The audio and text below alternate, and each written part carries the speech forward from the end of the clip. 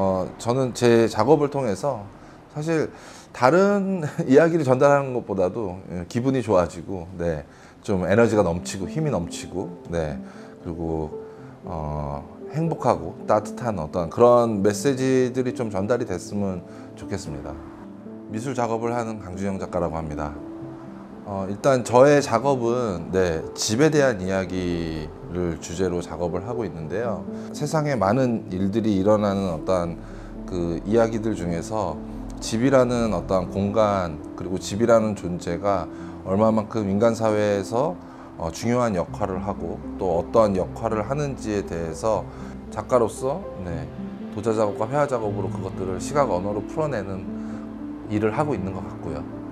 어, 사실 저는 그 집에 대한 이야기를 주제로 네, 작업을 풀, 풀면서 항상 느끼는 거지만 어, 물론 대학이라는 어떤 그 과정 속에서 도자를 전공을 했지만 저는 이 이야기들을 다른 매체로 옮겨갔었을 때서 나오는 어떠한 그 결과물들이 사- 상당히 흥미롭더라고요. 처음에는 회화 작업으로 옮겼었고 또 나중에 그 회화 작업에서 담을 수 없었던 어떠한 이야기들을 또 다른 매체가 다시 들어오게 되면은 확장이 되면서 나오는 그 결과물들이 너무너무 다양하고 재밌었기 때문에 제 주제를 가지고 어, 여러 매체를 통해서 어떻게 보면 표현하는 거라고 저는 생각을 합니다. 네. 제가 작업하는 공간이 작업실에서 어, 자유롭게 놓여져 있는 도자뿐만 아니라 제가 작업을 하는 과정에서 제가 주로 모으고 또 만들고 하는 그런 오브제들과 그 다음에 제 일상에서 기록된